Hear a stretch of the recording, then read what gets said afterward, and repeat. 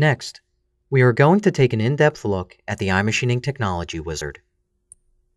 The Technology Wizard is an algorithm for producing on-the-fly cutting conditions for the current iMachining operation. The Technology Wizard page of the iMachining operation dialog box is made up of four sections. Step down, machining level, output cutting data, and the dynamic 3D preview window. The step-down section consists of input options and the output grid. The output grid has three columns, number of steps, step down, and ACPs. Rows are created for each step-down value that is not the same.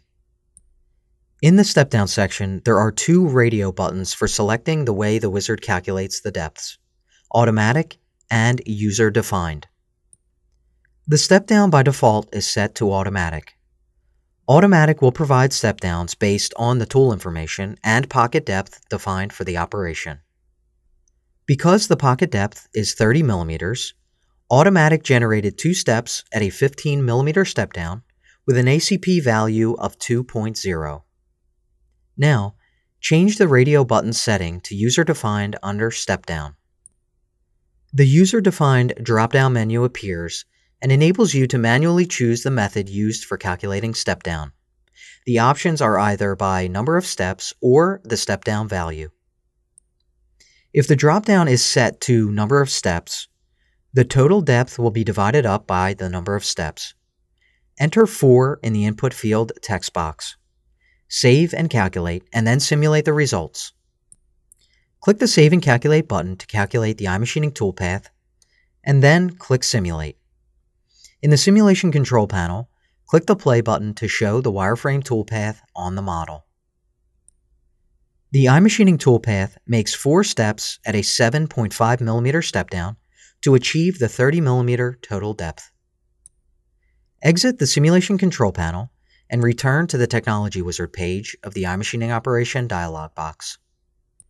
Next, select Step Down from the drop-down menu the value in the input field text box will be used for the depth of each step down until the total depth is achieved. Enter a 3 mm step down.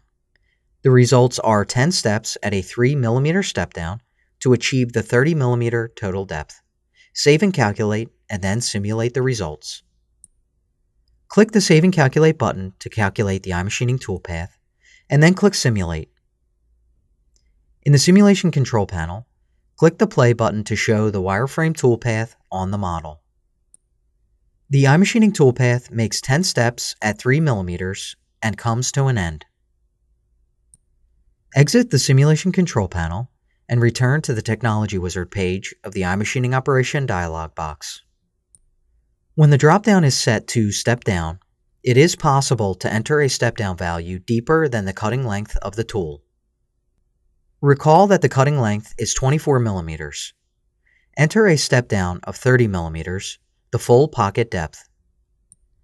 Click Save and Calculate to calculate the iMachining toolpath, and then click Simulate to see the results.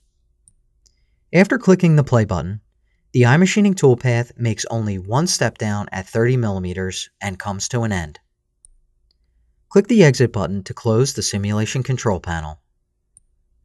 When the dropdown is set to number of steps, it is not possible for the wizard to generate depths greater than the tool cutting length.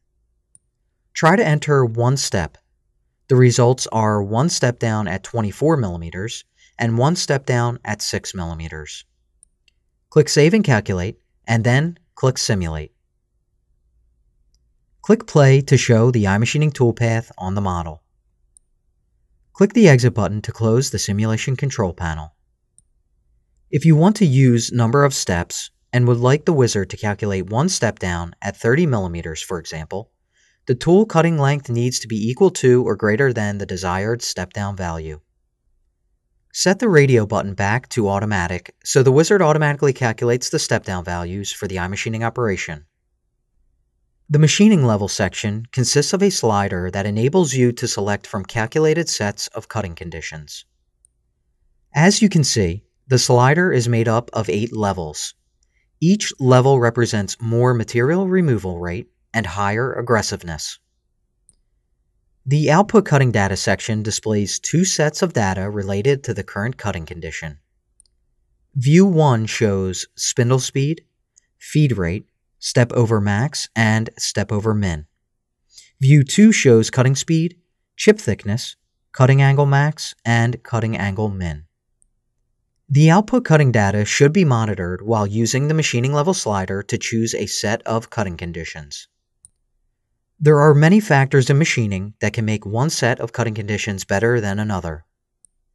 Some of these factors include fixture stability, cutting tool quality and stability, and or risks associated with the forces from higher metal removal rates. The machining level slider provides you with an adjustment for all these factors. The 3D preview window shows a 3D representation of the selected cutting conditions. The 3D view shows tool diameter, tool length, tool cutting length, step down, step over, and aggressiveness. The tool is shown in two colors, yellow for the cutting length and gray for the remaining length of the tool. If there are multiple steps with different depths, the largest step down from the output grid will be used. This is because it is typically the most aggressive step down and should be monitored. Step over is represented by the red section in front of the tool.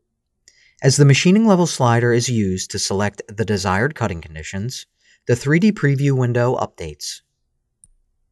Levels 1 through 5 contain different step over values, and the remaining levels have a consistent step over. The aggressiveness is represented by the chips behind the tool. The 3D chips change color, quantity, and size to show that moving up in machining levels produces more, thicker chips with greater heat. The 3D preview window also shows how the chips should be evacuating the cutting area under good conditions when actually machining the part. Return the machining level slider to 5 for the operation, and once again, click the Save and Calculate button. This will calculate the original iMachining toolpath based on the wizard using automatic to generate two steps at a 15mm step down with an ACP value of 2.0 to achieve the 30mm total depth. At this stage, step 3 is complete. Click the exit button to close the iMachining operation dialog box.